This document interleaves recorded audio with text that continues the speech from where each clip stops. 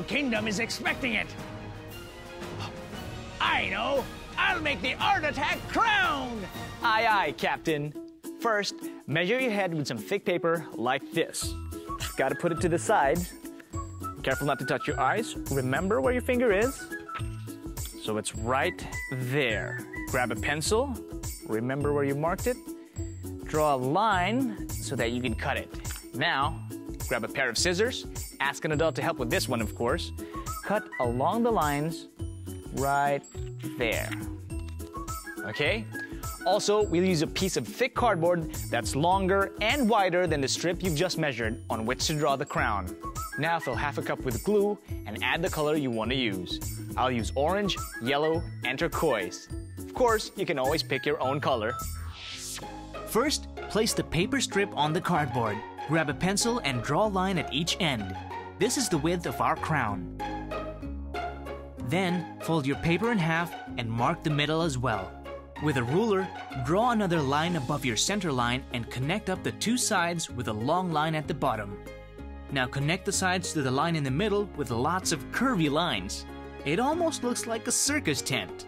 Draw another curvy line exactly like the first one underneath to form a border. Add some zigzags on top. This will be the shiny jewels and gems on top of the tiara. And why not add a big jewel on top as well? When you've finished your drawing, wrap the cardboard in a plastic sheet and secure it at the back, like this. Now we're ready to start adding color. Start with a gold color mix and pour it straight from the cup onto the main body of the tiara. Use a brush to shape the edges. Now it's time for the pale yellow. This time, apply it with a brush to fill in the border. And lastly, paint the gems with this lovely turquoise color. Very majestic! It already looks pretty amazing, but don't even think about wearing it just yet. Now, you just have to let it dry. We're gonna make it look even more fabulous by adding some precious stones that we'll make with shiny paper like this. First, let's draw the precious jewels on the back of the paper squares.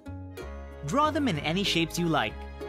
Once you've cut them out, and get adult help when you do, stick them on wherever you like.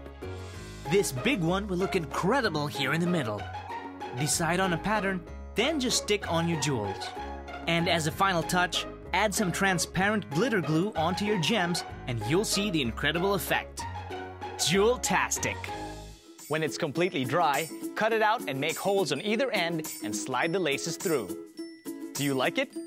Here's another idea, a pirate bracelet. We'll use another piece of cardboard. All you need to do is cut it to the size of your wrist. And ask an adult to help with that one. Lastly, add a cup of brown mix. Check it out. Outline the paper strip on the cardboard. Then, cover it with plastic like we did with the crown. Fill the rectangle with a brown mix. If you go over the line, don't worry, we can trim it later. While it is drying, take a pencil to draw the details. First, draw a skull that fits in the bracelet. Then we'll make the crossed skull bones that you already know. Cut along the lines to create the pirate insignia so everybody knows who you are.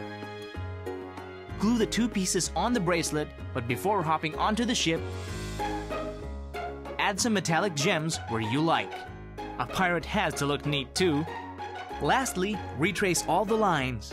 You're about to become the most frightening pirate. Ready to weigh anchor! It looks really good, but our pirate combo is not yet complete without this medallion for brave ocean adventurers. And if you're a princess, check out this diamond ring and this beautiful golden bracelet. Whether you are a princess or a pirate, you can always learn more by visiting disneychannel-asia.com forward slash art attack. Thanks for watching. Now click the video on the right for more great shows, or subscribe to keep up to date with the latest Disney Channel YouTube clips.